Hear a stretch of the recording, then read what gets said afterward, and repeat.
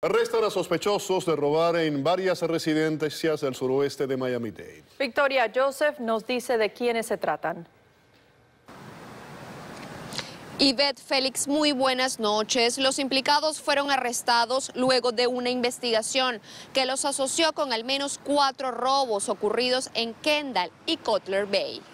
Bueno, la juventud también es... Juan Carlos Díaz Cuevas y Kevin Delgado Rodríguez, de 36 y 22 años respectivamente, enfrentan cargos de robo, daños y asalto a la propiedad privada.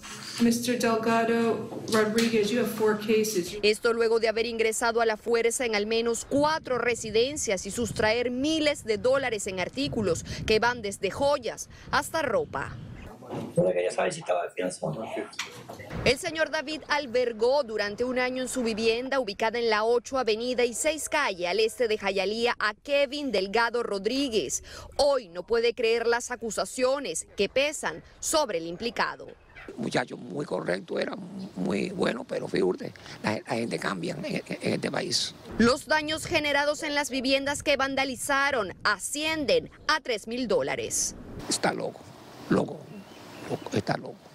La fianza de Delgado quedó fijada en 67.500 dólares, mientras que la de Cuevas en 31.500. Para América Noticias les informó Victoria Joseph.